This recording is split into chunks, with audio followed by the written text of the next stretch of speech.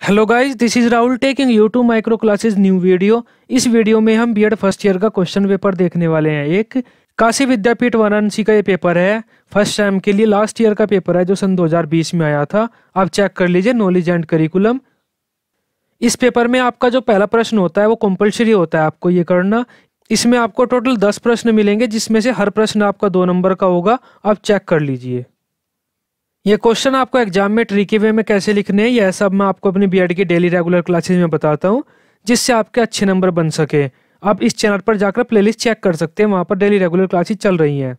पहला प्रश्न करने के बाद आपको यूनिट्स मिलेंगी। हर यूनिट में दो प्रश्न मिलेंगे, जिसमें से आपको एक करना होता है। साढ़े सात नंबर आपके एक क्वेश्चन के होंगे। ये पहली यूनिट है, इसमें आपको इन दोनों में से एक क्वेश्चन करना है। यह दूसरी यूनिट है इस यूनिट में आपको इन दोनों में से एक क्वेश्चन करना है, साढ़े सात नंबर उसके प्रश्न के होंगे। ठीक इसी प्रकार आपके थर्ड एंड फोर्थ यूनिट भी हैं। थर्ड यूनिट में आप इन दोनों में से एक कर सकते हैं एंड फोर्थ यूनिट में से आप इन दोनों में से एक कर सकते हैं। इस यूनिवर्सिटी का इसके अलावा काफ़ी सारे पेपर्स मैं अपने इस चैनल पर अपलोड कर चुका हूँ।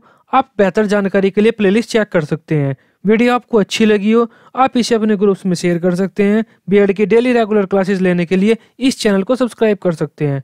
Till then bye bye take care